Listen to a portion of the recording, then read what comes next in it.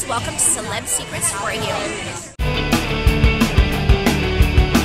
Excited to be here as part of the Lollipop Theater Foundation. I'm very excited. Um, I've been coming here for many years and I'm, I'm such a huge supporter. So, And what do you do to give back to Lollipop Theater? um, I think it's amazing to come and be able to meet kids. I mean, I've, I've gone to the hospitals also and to just be able to meet the children and, and the fact that, that they have an interest in, in you know, hanging out with me and that it means something to them means the world to me. And they're fun kids to hang around. You know, they're just they're just kids, like like anybody's kids. And Mother's Day tomorrow. Do you have any plans to do with your mom? Um, yeah, my mom and dad and I and aunt we're going to be visiting um, the grandmas. So my mom's mom and my dad's mom. I got myself a secret present that she might be around here, so I don't want her to hear.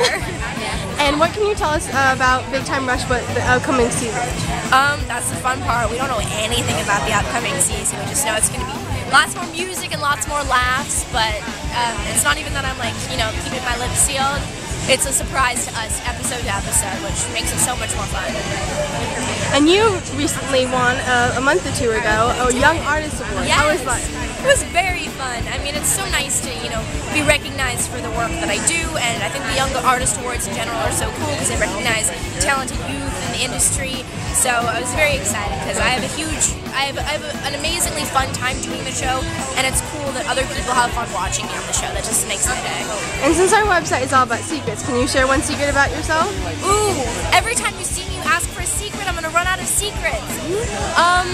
We get to know the real you. Yeah, right. I, I feel like I'm, I feel like I'm such like a, clean person. I don't know what secrets I have. Um, okay, here's the secret.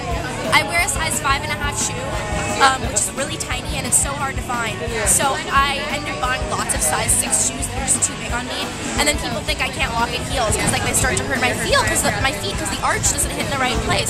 But actually, I'm great at walking in heels when they actually fit. The ones I'm wearing right now have a bunch of inserts in them because they're a six and I wear a size five and a half. Wow. So wearing like wrong size shoes.